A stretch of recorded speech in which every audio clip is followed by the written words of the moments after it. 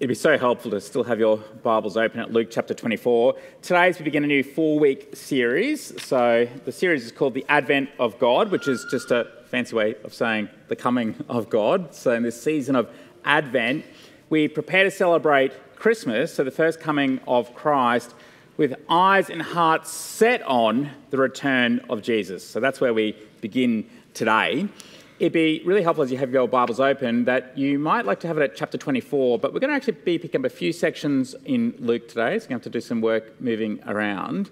There's also an outline on the back of the news, so if that's of help to you, there's points there in English, Korean, Dinka, and simplified Chinese. But right now, let's pray and ask for God's help. Gracious Father, Thank you so much that you've revealed yourself to us over and over again by your word, in your actions, through your Son, and in the power of your Spirit. Lord, would you please help us this very day to hear and obey your voice as we eagerly await the return of your Son in glory. In Jesus' name, Amen. In 1961, when the Russian cosmonaut Yuri Gagarin became the first person in space, the Soviets claimed that they had ascended to the heavens but found no evidence for God there. Nikita Khrushchev, who was the Soviet leader, said Gagarin, Gagarin flew into space but didn't see any God.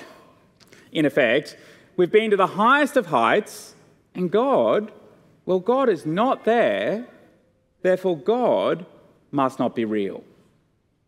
C.S. Lewis, the great C.S. Lewis, who was alive at the time, when he heard this, he wrote an essay pointing out just how foolish this type of thinking really is.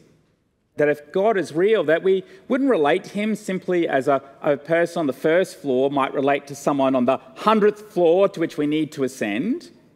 Now, Lewis says if God does exist, he is related to the universe more as an author is related to a play.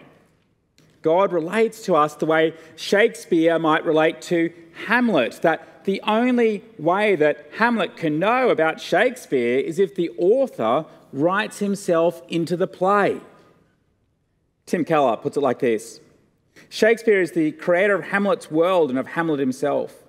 Hamlet can know about Shakespeare only if the author reveals information about himself in the play. So, too, the only way to know about God is if God has revealed himself. And of course, that is exactly what God has done. Actually, it's even better. For God hasn't merely written information about himself to us, but he has written himself into the drama of history, into our lives over and over again. From creation to new creation, God has been revealing himself to us. At Christmas, we, we look back and we rejoice that God has burst into our world in Jesus. We look presently and we give thanks for his presence and the power of his Spirit. And we look forward with eager anticipation of his return. As we uh, approach Christmas over the next four weeks, that's what we're focusing on this Advent. The word Advent is just from the Latin adventus, it simply means coming. And from the earliest of times, Christians celebrated God's coming into the world in Christ. How? By looking forward, by faithfully waiting for when he will come again. In fact, traditionally, the church calendar doesn't begin with January 1, but it begins with the season of Advent. So if you thought 2024 was rushing, you know, towards us at great speed, got really good news. Happy New Year today, actually. Our year begins with waiting for the God who will come in glory, for the God who came as promised, for the God who came in person, and as we begin today, for the God who came in Scripture's story. That's where we begin. How has God revealed himself to us in the scriptures, in the Bible? And particularly for us, how we're going to approach that today is how does Jesus help us make sense of that? Not that every single individual verse in the Bible is specifically about Jesus, but that as a whole, the whole Bible points to and is fulfilled in Him. And so, as Christians approach the Bible, we do so through the lens of Jesus. That's our method. Not because we think it's a really brilliant or snazzy sort of idea, but because it's precisely what Jesus did and what the first Christians did. Now, if we were looking at this at a theological college, so if you went off to Bible college and you want to understand how we see Christ in the scriptures, that would be the Christology of, of the Bible. Uh, we would take perhaps a whole semester or perhaps a whole degree to do that. Instead, today, we're just going to do it in one sermon and we're going to look at three occasions. So think of these as three acts when Jesus takes the scriptures and he shows us how they're fulfilled and they find their amen in him. So that's our approach today. That's our method. And as we do that through Jesus, we see that God comes to fulfill, God comes to forgive, and God comes with a future. So, first, we see that God comes to fulfill. On the first day of the week after Jesus' crucifixion, when some of the women faithfully show up at the tomb to care for the body, not only do they discover that the tomb is empty, but they hear from some angels that Jesus has risen. Some of the other disciples also see that the tomb is empty for themselves. But as word spreads, as word gets around, it really becomes the whole talk of the region, not just the talk of the town, but the talk of the region, as you kind of expect it would. In fact, as two of the disciples, so Cleopas and Simon, as we heard in Luke chapter 24, as they're making their way to Emmaus, and as Jesus comes alongside them, that's what they're discussing. They haven't seen this for themselves yet. They've got all the feelings and they can't quite figure out, they can't make sense of what's happening.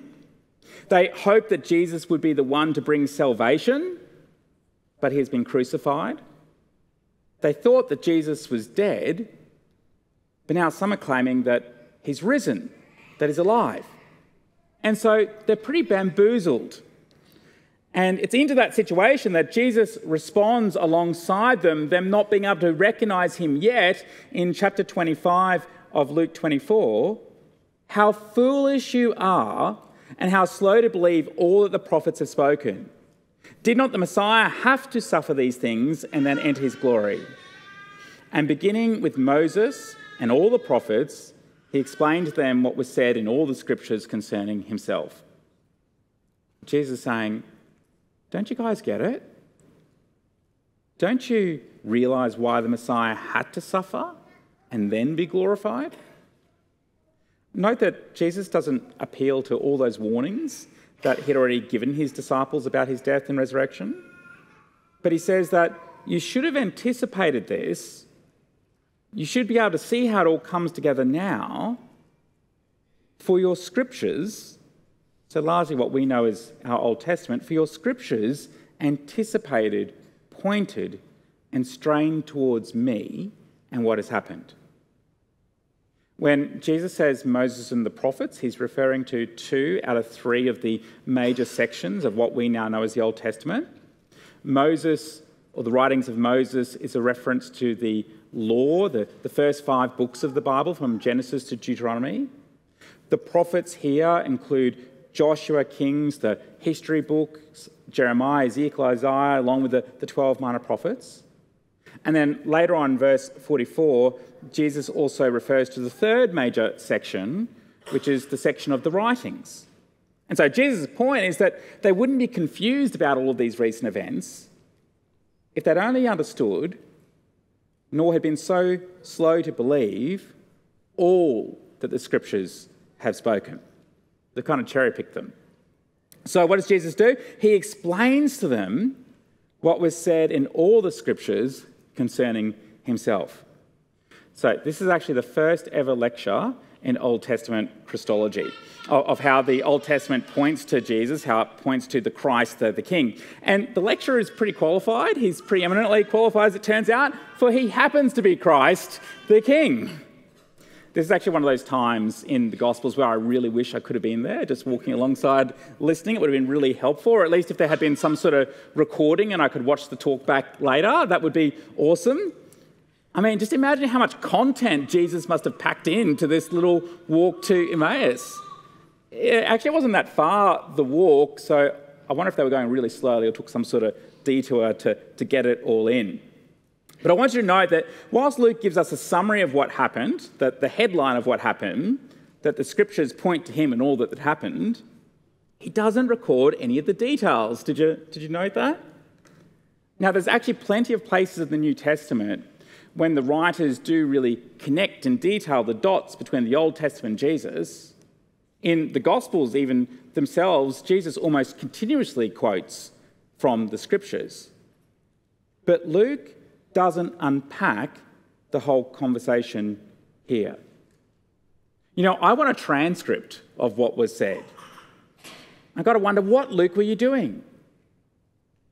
But perhaps the reason he doesn't is because he's less concerned with us working out all the little pieces and far more concerned with us seeing the pattern and the point of who Jesus is and what he's done.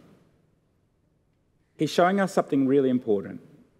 He's showing that if you want to make sense of all that's been revealed to us through the scriptures, if you want to make sense of the history of God's actions from creation and into the future, if you want to make sense of the story of God's people, if you want to know your part in God's unfolding story, then you'll only ever begin to see that clearly if you come to it through Jesus. If you're not sure about Jesus or you're not sure about the claims of Christianity, I really want to encourage you come through, consider the claims of Jesus first. Now, we don't use that method because it seems clever or it's particularly virtuous or something like that. But see, that's precisely what Jesus did. When the Hubble telescope was launched back in the uh, 1990s. Very soon after it was launched, the scientists discovered that actually all the images were blurry. They were all out of focus because the, the primary mirror in the telescope was, uh, was broken. There was a problem with it.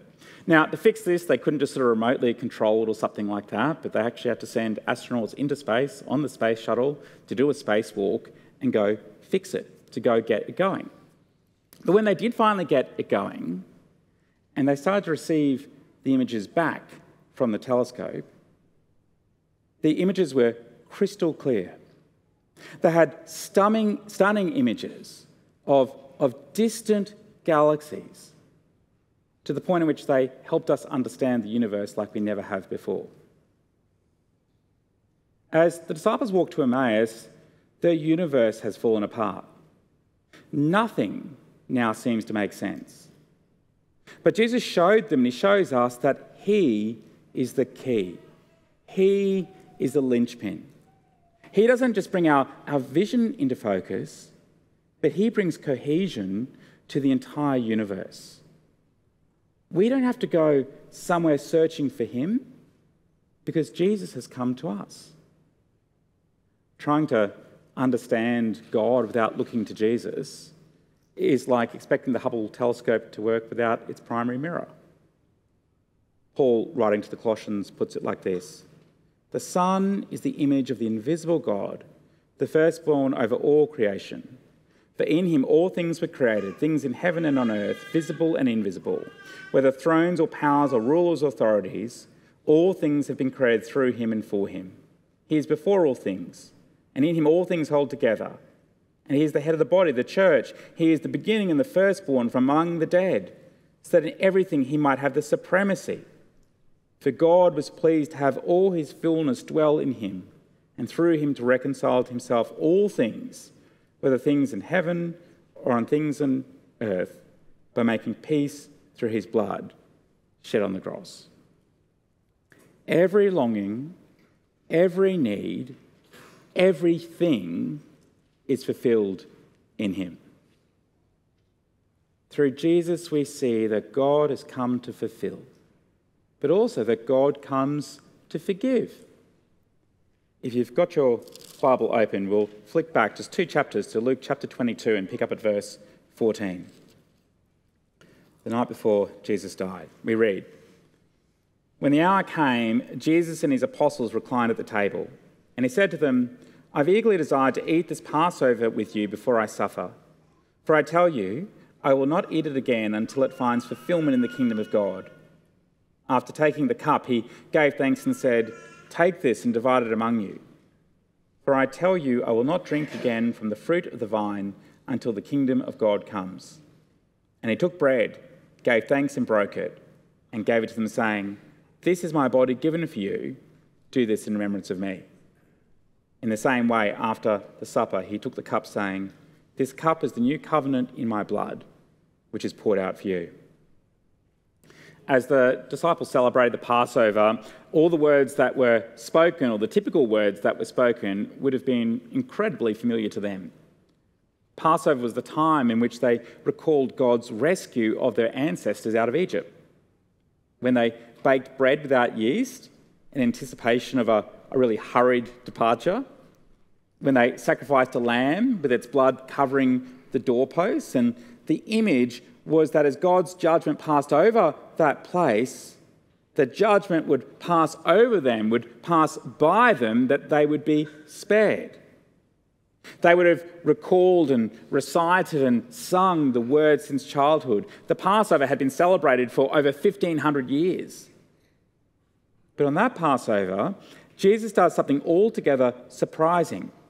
He takes these very familiar words, precious words, and he makes them about himself.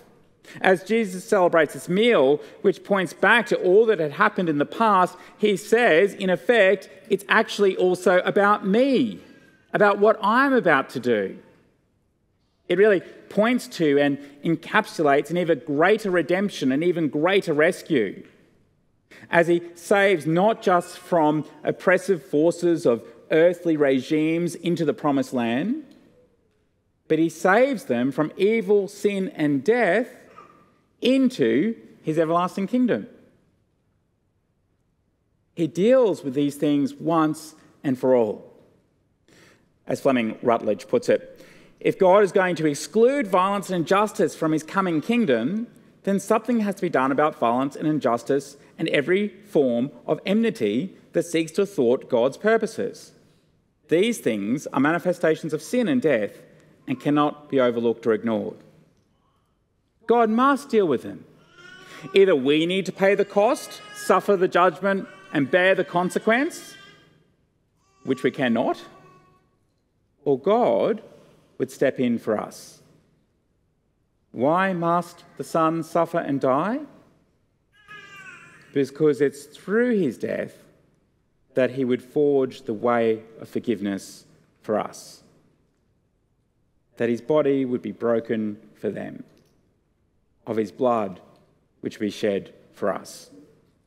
For a new covenant, for a new way of being in relationship with God through him. The people had really longed, so longed for a time when that would be possible when they would be his people and he would be their God, when justice would really be done, when the whole world, every aspect of the world, be set right. It's actually the problem that was waiting for a resolution since Genesis chapter 3, since humanity is turning away from God. But if God just turned a blind eye to sin, then he would not be just. And if God judged us all according to our sin, then none of us would have any hope. But at the cross, God, in His grace, forged a way for forgiveness. At the cross, all of our hopes for mercy and justice are fulfilled. At the cross, justice and mercy come rushing together. Note that Jesus says, verse 16, I will not eat it again until it finds fulfillment in the kingdom of God. Verse 18, I will not drink again from the fruit of the vine until the kingdom of God comes. So, hear what Jesus is saying. Not only is his death imminent, which they weren't expecting, but that his death and resurrection are central. They are right at the heart of the cause of his coming into the world. I think it's really interesting that the disciples on the road to Emmaus, they, they don't recognize Jesus. It says they were prevented from seeing who Jesus is until when? Until he broke the bread with them. That's, that's the light bulb moment that they had. That's when it made sense. That's why every time we celebrate the Lord's Supper, like we're celebrating the Lord's Supper today, it's like the gospel in edible form. If you've ever doubted that God takes the problems of our world seriously, look at the cross. If you've ever doubted that God loves you, simply look at the cross. Jesus calls us to repent, to turn from our sin, and to turn to Him and believe. And we can trust Him. How we can trust Him? For God didn't merely reveal Himself as some sort of public display of information, like a billboard or a message or an Instagram live or something like that, but He gave us Himself. God comes to fulfill, God comes to forgive, and finally, God comes with a future. It's the final and never ending chapter of the greatest story ever told of creation, fall, redemption, and new creation. So, back one chapter again, Luke chapter 21, verse 25. This is Jesus speaking. Jesus says, There will be signs in the sun, moon, and stars. On the earth, nations will be in anguish and perplexity at the roaring and tossing of the sea. People will faint from terror, apprehensive of what is coming on the world. For the heavenly bodies will be shaken at that time, they will see the Son of Man coming in a cloud with power and great glory. When these things begin to take place, stand up and lift up your heads because your redemption is drawing near. Now, we're going to spend a whole week looking at Jesus' future coming in glory, but, but in the meantime, don't miss Jesus' promise. He is returning, and when it comes, it will be in glory. I think it's, uh, it's a bit easy to get distracted or bogged down with some of the sort of end time language, the apocalyptic type of language that we read here of sun, moon, stars, of anguish and perplexity. People get really caught up with trying to decipher, decode, or predict these things.